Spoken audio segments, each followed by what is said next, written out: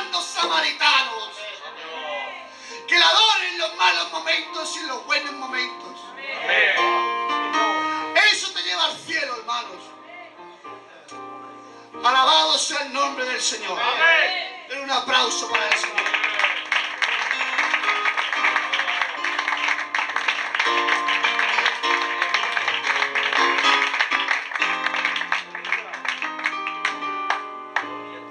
Dios cuando toca transforma, hermanos. Dios tocó a Saulo de Tauso, hermanos. Aleluya. Un hombre que era un perseguidor de los cristianos. Seguía a hombres y mujeres, los metía en la cárcel. Pero ahí tuvo un encuentro con Dios, hermano. Amén. Yendo en dirección a Damasco. Dios tuvo ese encuentro. Es que cuando tienes un encuentro con Dios, tu vida cambia. Amén. Tu vida cambia. Qué bueno es tener a Dios en tu casa, hermanos. Ah, Amén. Ay, Dios mío. Señor. Ay, como lo tengamos a Dios en nuestros corazones. Amén. Qué mal, perdonen que le diga esto, qué mal lo vamos a pasar. Porque el diablo, Dios lo reprenda. Granico te lo hace una montaña. Pero mi Dios, una montaña te lo hace un granico. Con Dios tenemos todo. Aunque tengamos problemas, necesidad. Pero Dios está con nosotros. Alabado sea su nombre. Gloria al que vive. Dios está aquí. Sí, Señor. Amén. Gloria, gloria. Alabado sea su nombre. Sea tu nombre, Señor. Gloria, gloria para Él. De verdad que se sienta Dios. Está la iglesia preciosa, ¿verdad? Alabado sea su nombre. Cuando do- Dios desciende, algo acontece. Dios descendió del cielo para algo que se perdió, hermanos, para recuperarnos, para darnos la vida, la vida eterna, para limpiarnos, para curar nuestras heridas. Qué bueno que Dios descienda. Aleluya. El hombre cuando descendemos buscamos la ruina, pero Dios cuando desciende hay victoria. Amén. ¡Hay victoria! ¡Hay victoria! ¡Y a su nombre! Entrando, hermanos, Jesús en Jericó, pasando, dice la Biblia que había la multitud y había un hombre llamado Zaqueo. Y este hombre, hermanos, tenía ansiedad, tenía ansiedad de ver a Dios, necesidad. Y como no podía, porque era un hombre de estatura pequeña, se subió a un árbol llamado sicomoro. Y el Señor pasando por allí, Zaqueo, date prisa, desciende, que es necesario que yo more en tu casa. Y yendo a su casa, la gente de allí criticaba y murmuraba. Porque Zaqueo, hermanos, era un hombre jefe publicano y rico, dice la palabra del Señor. Y si dice rico, era un hombre de dinero, era un recaudador de impuestos. Como era un hombre que hablando así engañaba, estafaba, pues la gente cuando veía que se acercó al Señor, criticaba. Pero cuando entra en la casa de Zaqueo el Señor y ve que la gente murmura, se levanta y dice, Señor, yo doy la mitad de mis bienes a los pobres. Y si alguno he cobrado las manos más de la cuenta, por decirlo de esta manera, se lo multiplico cuatro veces. Cuando Dios entra a tu casa, transforma, Amén. cambia. Este, este hombre lo cambió. Era un hombre pecador, estafador. Pero tenía necesidad de Dios. Yo digo, este hombre, hermanos, según la Biblia, tenía dinero, tenía una buena posición, pero había algo en su corazón, nadie lo podían llenar.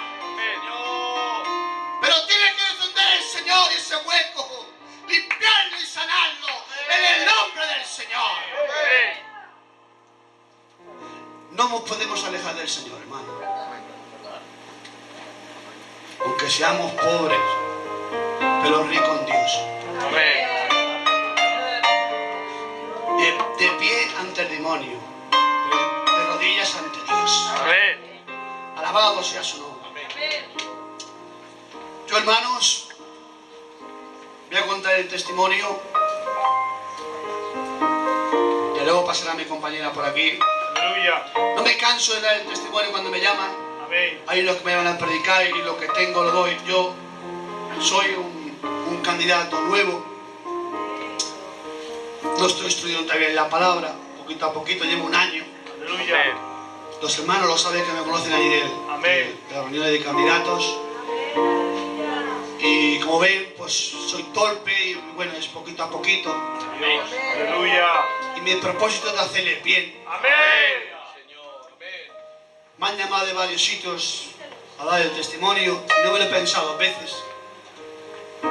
Yo y mi compañera nos han llamado lejos. Esos días igual quizás no he tenido dinero. Me he empeñado con personas para gasolina. He cogido el coche y he ido. Aleluya. Para eso me ha llamado el Señor, Amén. para ser un siervo, para servir. Aleluya. Para eso nos llama el Señor, Amén. para servir a los demás y para hacerles bien, hermanos. Aleluya. Muy bien, Antonio. Amén. Y el Señor, el tiempo que quiera que esté aquí, hermanos, va a ser mi trabajo.